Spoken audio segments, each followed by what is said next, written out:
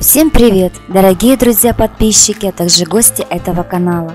Приветствую вас! Сегодня хотелось бы рассказать вам о такой актрисе, которую зовут Ирина Климова, куда она пропала, чем живет и как живет некогда известная актриса.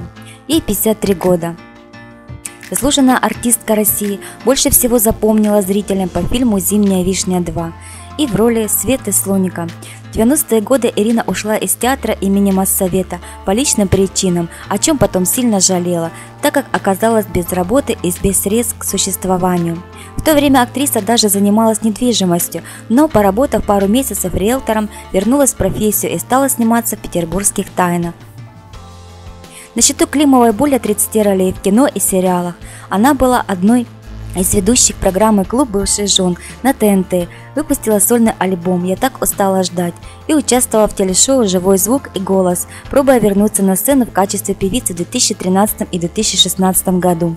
Затем Ирина принимала участие в шоу «Три аккорда», а в 2017 году снялась в продолжении картины «Зимняя вишня 4». Ирина Климова была замужем дважды.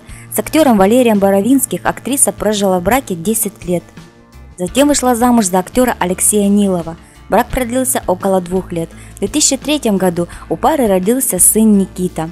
В марте сыну актрисы исполнилось 17 лет. Пожелаем этой прекрасной актрисе возрождения ее творчества, пусть ей побольше предлагают интересных новых ролей. А также пусть личной жизни у нее все сложится и все получится. Если вам понравился ролик, ставьте пальчики вверх. Кто еще не подписан на канал, подписывайтесь, впереди еще много интересного. А также подписка вас ни к чему не обязывает. И не забывайте нажимать на колокольчик, чтобы не пропускать новые видео. Всем большое спасибо за внимание.